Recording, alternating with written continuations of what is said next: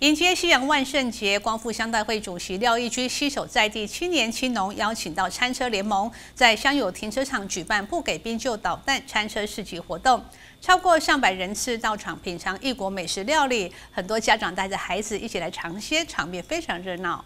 全国跑透透的餐车联盟市集还没开市，门前就已经出现了排队人龙，大人小孩准备领取冰淇淋券，不然就会不给冰就捣蛋。而队伍绵延十几公尺，主席廖卫军、贤康利以及乡代表县议员蔡一进等长官贵宾一字排开，赶紧来发送。为了让光复乡在地乡亲民众体验西洋万圣节庆的文化，乡代会主席廖维军与在地青年返乡青农特别联结国内知名的餐车联盟，日前在乡公所位于农会超市前的停车场办理不给冰就导弹餐车市集，许多家长带着小朋友到场品尝异国美食料理，场面盛大热闹。都是车子，夜市都是摆摊的那一种。来这这边参观这个啊，你最想要吃的是什么？冰淇淋。带这个哈走一走。走一走，会不会想要吃什么？等再来看。难得光复乡会有这样的活动，对。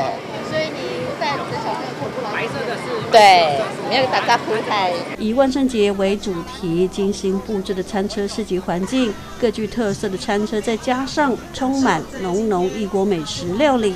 吸引了大人小孩来尝鲜，节庆欢乐气氛渲染全场。因为这位大哥呢，跟我是多年的好朋友，所以我今天特别邀请他来地方上来举办这一次的餐车。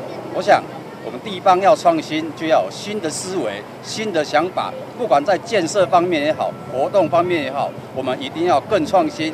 啊，在未来，我一定会与我们的副主席、我们所有的村长联会会长与所有的村长，还有我们的代表啊，共同来努力，为我们地方上呢，能够呢，争取更多不一样新的活动。主席廖维军展现年轻人超强的行动力，串联在地青年以及返乡青农的力量，共同完成不给兵就导弹的传承市集活动，提供在地乡亲民众不一样的文化节庆体验，获得各界好评。主席感谢大众的支持。与配合，未来廖一军表示，也将会争取各方资源，营造光复乡的活力风貌。